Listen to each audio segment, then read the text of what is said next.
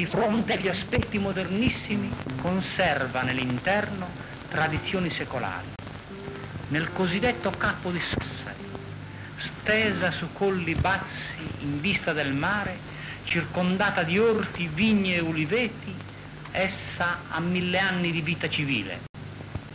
Ma dei suoi costumi antichi ben poco è rimasto. Lo spirito, il dialetto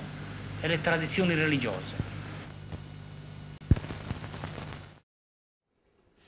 Qui siamo in, nella via Insinuazione a Sassari, stiamo percorrendo quella via che per tante volte ha percorso il povero Pietro Esperson, dove, la cui famiglia abitava proprio qua, al numero 8 di via Insinuazione. E la moglie Teresina Figari, sassarese, figlia di Giuseppe e di Cristina Tealdi, hanno abitato per tanti anni qui. Qui c'era la famiglia proprio della Esperson, nobile d'animo, nobile di cuore. Vincenzo Luigi e Lucia Pinna, genitori di Pietro, ebbero anche altri figli oltre che a Pietro Esperson. E per la precisione Luigia, Felicita, Agnesina, Gediuta, Alfredo, Margherita, Ignazio, Teresa e poi Pietro appunto, quello di cui stiamo parlando in questo momento. Questo è il palazzo dove appunto abitava la famiglia Esperson che dava poi da via Insinuazione a Sassari sulla parallela che dà appunto su via Esperson.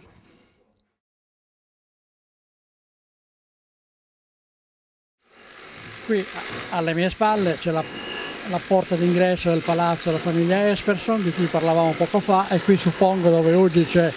una saracinesca ci fosse il, il portale d'ingresso al giardino eh, dove mettevano la carrozza con il cavallo. Ovviamente Sassari non conosce tanto la famiglia Esperson perché tutto sommato ci fu una politica del tempo che tentava di oscurare, di obliare quadro della famiglia Esperson in quanto era manifestamente antisabauda, per cui sicuramente ha avuto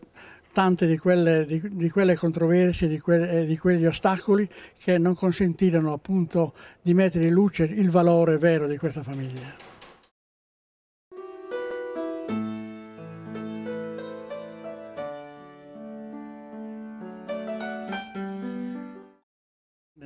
1917, il mese di marzo, si spegneva il, il nobeluomo, direi, eh, commendatore, avvocato, professor eh, Pietro Esperson, professore di diritto internazionale, di nobile famiglia, discendenza francese, del consolato francese, ma ormai sassarese, come direbbero oggi in Ciavi.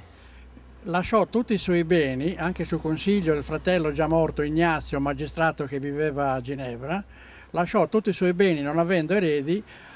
all'ospedale civile di Sassari, terreni, casa, palazzi, tutto, mm, cedole, obbligazioni, tutto ciò che aveva all'ospedale civile di Sassari, a condizione che eh, costruisse all'ospedale un sanatorio per i poveri tubercolosi di Sassari. La sua morte fu solennemente commemorata riunendo il Consiglio Comunale d'Urgenza il 12 marzo del 1917. All'allora sindaco uh, dottor Lavagna riunì il Consiglio Comunale d'Urgenza per commemorare ufficialmente e solennemente la figura di questo, di questo nobeluomo che aveva dato lustro a Sassari, all'Università di Sassari e alla Sardegna. Eh, il lascito appunto fu poi in, in seguito rinunciato dall'ospedale civile di Sassari perché non ce la faceva, non so per quali motivi, a spendere altre cose, per cui rinunciò a tutto il lascito del professor Esperso e del suo fratello già morto.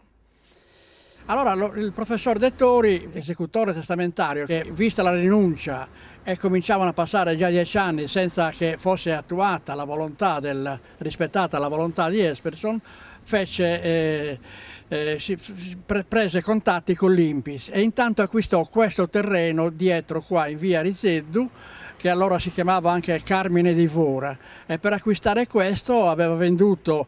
Badde Petrosu e Tanica, proprietà degli Esperson e si era messo in contatto con l'Impis, allora Cassa Nazionale di Previdenza e di Assistenza, perché allora l'Impis costruiva le case per i poveri tubercolosi, come diceva lui, di, di tutta Italia. E così nacque qua, uh, rinunciò all'ospedale ad andare dal notaio, l'ospedale a sua volta, una volta rinunciato, il professor Dettori invece prese in mano la situazione e, e nel, nel, 30, sì, nel 1930 lui offrì all'Impis gratuitamente questo terreno che qui tra via Livorno e via Rizeddu, eh, via Fossati, eh, offrì gratuitamente il terreno all'Impis che accettò con atto notarile purché appunto costruisse un sanatorio. Il sanatorio nell'arco di un anno fu costruito e nacque qua. Durò sino al 1956 dove poi fu trasferito come costruzioni alla, mm, al suo Alconti eh, dove Sassari conosce più il Conti ovviamente come sanatorio che Rizzetto. Però nacque qua grazie alla, alla bontà d'animo degli Esperson. Questi ruderi, abbandonati a se stessi in mezzo al verde, danno la tristezza al cuore. Perché per i sassaresi lo sanatorio era un luogo emblematico per i sassaresi. Era un punto di riferimento nella topografia della città. Lo sanatorio Gonti, lo sanatorio era povero di mezzi ma ricco di umanità, lo ricordiamo tutti con particolare affetto ed era anche il simbolo della storia umana di Sassari, perché eh, nel sanatorio avvenivano tante, tante vicende sono accadute, se potessero parlare questi rudri, questi muri, quante storie, quante, quanti ragazzi, quante ragazze, quante famiglie, quante situazioni, con la differenza che a differenza dell'assistenza di oggi, anche se era povera di mezzi allora, ehm, c'era una grande dimensione umana e anche, diciamo così, un nutrimento abbastanza ricco perché eh, alle feste non mancava l'aragosta, non mancava l'agnello, cioè l'Impis teneva i suoi ricoverati, i suoi assistiti veramente come un albergo di lusso con camerieri, cuochi, lavanderie, bar, cinema, cioè era veramente un posto dove eh, la gente veniva trattata tra molto, molto bene. Qui siamo sempre nell'ospedale Sanatorio alle Conti, Echese Conti, eh, qui siamo nel reparto donne, eh, ovviamente il reparto e le corsie sono dentro, ma fuori c'è, ancora, anche se vuota, ci sono le famose verande, insomma anche decantate da, da Sattan in un libro famoso, La veranda. Eh, qui dalle 9 a mezzogiorno e dalle 4 alle 6 di pomeriggio tutti i malati, donne e uomini ovviamente, erano in veranda. Quando c'era qualche bandina piegata, purtroppo, stava a significare che qualcuno se n'è andata a miglior vita, insomma. E qui c'è la cappelletta, perché la suor Frumenzia, così chiamata, che dirigeva questo reparto donne come caposala, teneva molto a, ovviamente alla religiosità del reparto. Qui si può notare abbandonato da 50 anni quasi anche un piccolo presepe la statuetta della Madonna con una corona lasciata, con un rosario lasciato da qualche malata. E sto arrivando qua dalla vecchia rotonda dove dividevano dove divideva il sanatorio tra reparto donna, cinema e cappella, invece il reparto uomini e, e cucine e magazzini. Eh, tu, eh, come vedete è tutto coperto, anche se sta cadendo un po' tutto, ma l'Impis aveva provveduto a fare della, della sorta dei portici di comunicazione tra reparti e servizi vari. Qui c'è il reparto uomini a sinistra, sulla destra c'è il refettorio e tutti gli ammalati uomini mangiavano qui, venivano serviti a tavola con delle piattanze veramente che farebbero invidia ai migliori ristoranti del giorno. E qui sulla mia destra c'era la chiesa, un'ampia, un'ampia chiesa dove veniva festeggiata la Madonna eh, veniva anche il vescovo per eh, celebrare la messa, mentre sulla sinistra, eh, per chi mi guarda, c'era il, il, locale del cinema, dove venivano anche attivati delle, degli spettacoli. Quando all'Iduire di Platamona arrivava qualche complesso, allora per il Prado, Consolini, eccetera, eh, il sanatorio pagava qualcosa e ci e faceva lo spettacolo per i malati TBC. Sia il cinema, cioè il film, sia gli spettacoli venivano quasi dati gratuitamente a beneficio appunto dei poveri malati tubercolosi di quegli anni, i quali rimanevano parecchio tempo ricoverati. In quest'angolo un tempo pieno di luce, siamo qua in semi-oscurità, c'è rimasta soltanto la porta dell'ingresso di chiesa con un vecchio confessionile dove la gente appunto i malati venivano qui a confessarsi perché c'era qui fisso il cappellano anche della, proprio dipendente dell'Impis. Antonio Conti è una figura nobile di Sassari che si interessò molto della tubercolosi. Era intanto direttore sanitario dell'ospedale e poi era consigliere comunale. Si batteva in consiglio comunale con tutte le forze diciamo così, normali in suo possesso per valorizzare e per interessarsi della tubercolosi imperante che a Sassari ormai non si poteva più nascondere, anche se molti la nascondevano. E ricorda, ho letto molto su Conte, ricorda un passo veramente commovente che lui rafforzò poi ovviamente per ottenere quello che intendeva volere, che ottenere, di una ragazza incinta che si recò da lui all'ospedale civile di Sassari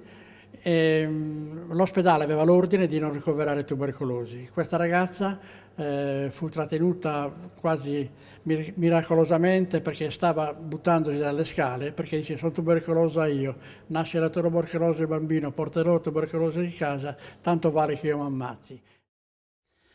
Stiamo portando a termine il percorso storico geografico della sofferenza su Sassari dove dopo aver attraversato l'abbandono dell'area di Rizedu con lo scempio del, delle caserme del Conte dove prima c'erano i malati di tubercolosi fino agli anni 90, oggi siamo qui vicino al cimitero, siamo nel cimitero storico di Sassari e ci stiamo avvicinando alle tombe di,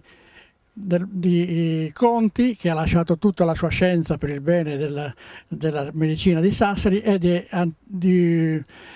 Pietro Espero che ha lasciato tutto il suo patrimonio per i poveri tubercolosi di Sassari. Qui c'è una lunga storia che abbiamo raccontato con il compianto giornalista Pierluigi Di Sì e il magistrato Francesco Pinto che proprio descrive lo scempio, il dissipare gli intrighi i maneggi che hanno fatto sì che tutto questo patrimonio si dissolvesse eh, nel nulla e qualcuno ovviamente avrà usufruito indebitamente di quanto ha lasciato il povero Esperson. Molti furono beneficiati da lui comunque degli eredi, già nel testamento lascio questo al figlio di, lascio quest'altro alla nipote di. Comunque non sarebbe male mm, vedere un pochino eh, in qualche modo di, di trovare un, un, filone dove ci porta qualcosa ancora non diviso e non lasciato da lui, ma in mano a chi non ha diritto di averlo, insomma, ecco, quindi questo si potrebbe anche vedere. Comunque ha un benemerito della città, ecco, le sue nobili intenzioni, cioè è stato condannato all'oblio per troppo tempo, ecco questo che dico io. No, non è giusto, non è serio, non è umano. Lui morì il 12 marzo del 1917 e furono esattamente l'avvocato Giuseppe Mancoso e il signor Giuseppe Mundola che si recarono presso il comune di Sassari dove allora era retto dal segretario comunale Cavalier Pili. Il funerale mh, si fu eseguito il giorno successivo, eh, diciamo così con ben, ben descritto dalla Nuova Sardegna del tempo, e comunque qualche traccia è rimasta anche eh, negli scritti di, di, altre persone, per esempio che lo portarono qua alla chiesa di San Paolo e la bara era seguita da studenti dell'università con la bandiera. Seguivano anche i professori Falchi, Pizzolo, Mameli, Borgata, Pizzorno e Mucci, il segretario del tempo Cavaliere Pinaferrà il presidente dell'ospedale Cavalier Sussarello, il direttore professor Conti, il primario professor Dettori e il sindaco Cavalier Lavagna che il giorno successivo appunto riunì il consiglio comunale per eh, mh, celebrare in, eh, ufficialmente e degnamente la scomparsa, eh, la, la scomparsa di un grande uomo e benefattore di Sassari. Il testamento non è stato rispettato, anzi è stato, se posso dirle questo, è stato dissipato il testamento. C'era un pianoforte nel testamento, chi vuol leggerlo sempre, come detto poco fa, nel testamento può leggere, c'era un pianoforte destinato ai poveri malati di Rizedu perché la sera qualcuno o sano che andasse lì a, a suonare o qualche malato che comunque sapesse suonare il pianoforte alleviasse un po' la serata ai poveri malati tubercolosi con la musica del pianoforte. Non sa che fine ha fatto il pianoforte, quindi i gioielli della povera eh, Teresina Figari, morta appunto come dicevamo nel 1940, il 10 luglio 1940, direi un mese dopo la, l'annuncio della guerra mondiale dal, dal palazzo di Piazza Venezia il 10 giugno, questo è il 10 luglio, un mese dopo questa moriva lì senza vestaglia e, e i suoi gioielli dove c'erano tutti elencati pignolescamente da parte di, di Esperson. Tutti i suoi gioielli eh, furono in una delibera, furono messi in vendita. Non si sa che fine abbiano fatto, questo non voglio accusare nessuno, eh, però voglio dire, non so che fine ha fatto, perché l'ospedale aveva dei debiti sulle derrate alimentari e quindi aveva in qualche modo recuperare i soldi e comprare patate in sostanza, cosa che insomma lascia un po' di dubbio, ma comunque o che non l'abbiano fatto o che l'abbiano fatto, comunque è sempre una cosa molto brutta quella di non aver rispettato uh, un testamento e dei gioielli che appartenevano a una donna così. Comunque a distanza di anni, vogliamo Sassari, amministrazione, cittadini, intellettuali, eh, beneficiati, guariti dalla TBC, vogliamo in qualche modo ecco, onorare la figura di Esperson portandogli il fiore e pulendogli un po' la tomba?